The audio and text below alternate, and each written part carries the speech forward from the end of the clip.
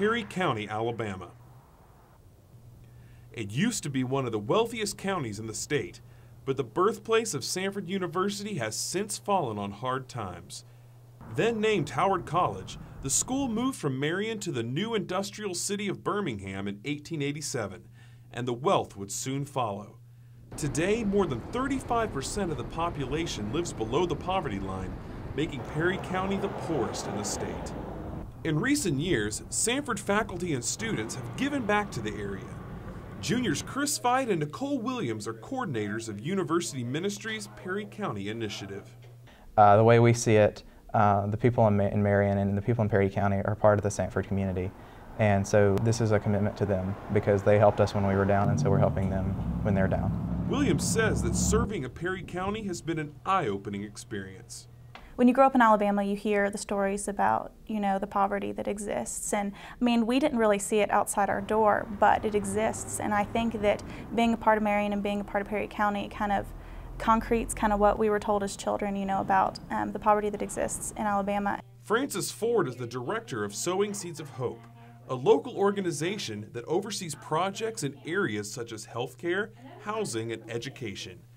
Ford says that it has been a joy to work with Samford students. I have found them to be very professional. Not only have they been very professional, but they have also been compassionate. And when they come, they come not saying that we're coming to do to you, but they come to work with us. In 2005, Samford purchased a house in Marion to serve as a base for its Perry County operations. The Holly House is also home to Samford Pharmacy students who spend one month rotations in Marion. Pharmacy students Beth Richardson and Tuong Dang currently live in the Holly House, and Richardson says she has already learned a lot. I want to own my own independent pharmacy, and I'm definitely going back to work in one. And I'm from a small town, um, just a little bigger than Marion, so I think this experience is going to really help me contribute to my own town. As part of their rotation, Students participate in a free hypertension clinic at the Perry County Health Department.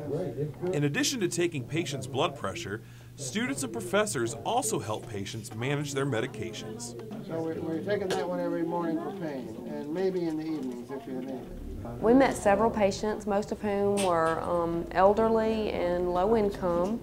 You know, we got to offer some good tips for them to help them lower their blood pressure, help them live healthier lifestyles, and you know they just seem really appreciative of our actions there.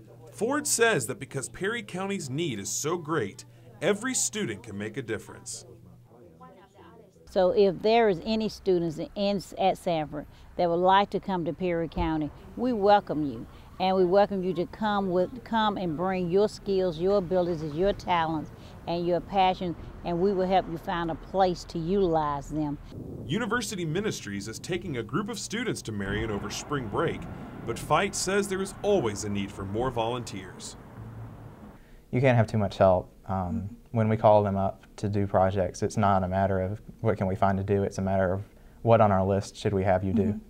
Interested students should contact Chris Veit at cdveit at samford.edu. At Sowing Seeds of Hope, Ford says that student volunteers bring more than just their skills. When you come, you may say, well, I'm just a student from Samford. but to these individuals in Perry County, you are an answer to a prayer. For Samford University, this is Stephen Moss reporting.